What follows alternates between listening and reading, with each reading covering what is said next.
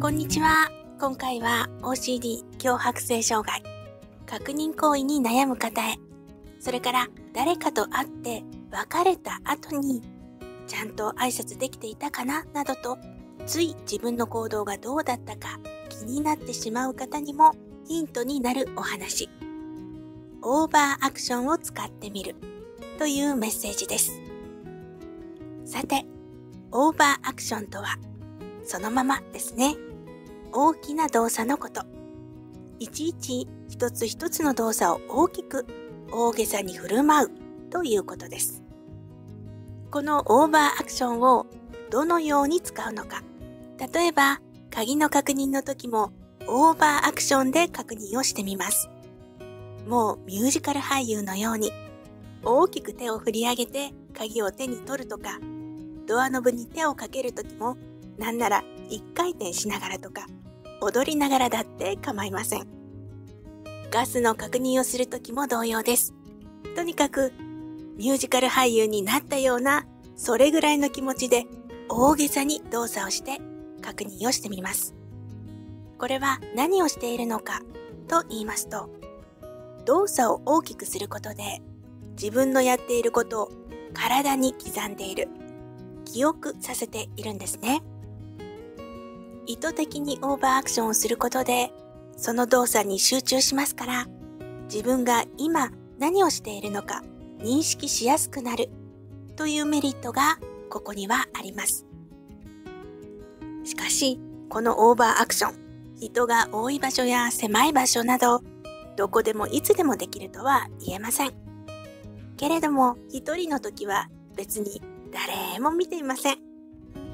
試しに日常の中で実験してみてください。例えば、コーヒーカップでもペンでも何でもいいですが、目の前のものを大げさに持ち上げてみる。オーバーアクションで。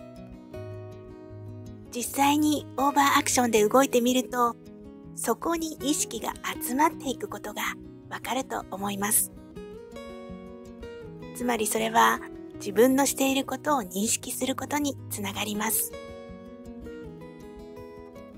それから誰かと別れた後にちゃんと挨拶できていたかな？などつい不安になってしまうという場合。これに関してはこれからはとにかく別れ際は笑顔でいる。ということ。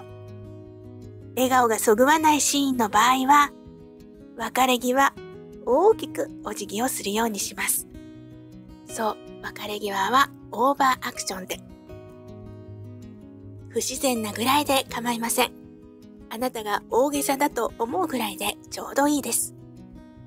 最後の挨拶さえできていると自分で思うことができれば、その不安はかなり軽減されるはずです。後で不安になるぐらいなら、オーバーアクションをしてみましょう。その時に相手の人におかしな人とは思われないだろうかと心配にならなくても大丈夫です。もしも思われたとしても、それはあなたの不安や心配を解消していく過程の一つに過ぎませんから、なんてことはありません。気にしないでどんどんやってみましょう。このように動作を大きくオーバーアクションすることは自分の意識を自分の行動に向けることができます。オーバーアクションは時に体力のいるものですが、それだけに体に記憶をさせて体を使って認識していくことができます。私たちはこの3次元では魂と肉体が一体化して毎日を活動しています。ですから体も細胞の一つ一つも本来は意識せずともあなたの行動を刻んでいます。肉体とあなたは離れることなく行動を共にしているわけですからね。それからもう一つ、今回のメッセージに絡んで役に立つかもしれないお話をします。体の記憶という観点で言えば、これは OCD 以外でも物忘れの時に役に立つことがあるんです。例えば、隣の部屋に行ったあれ？何を取りに来たっけ？という時、ありませんか？そんな時は体に聞きます。私何を取りに来たっけ？と。どうやって自分の体に効くのか？と言いますと、そのまんまです。体の中の細胞たちに私何を取りに来た？と問いかけてみます。頭ではなく体の中に聞いてみるイメージです。その場所をうろうろしながら繰り返し体に聞きます。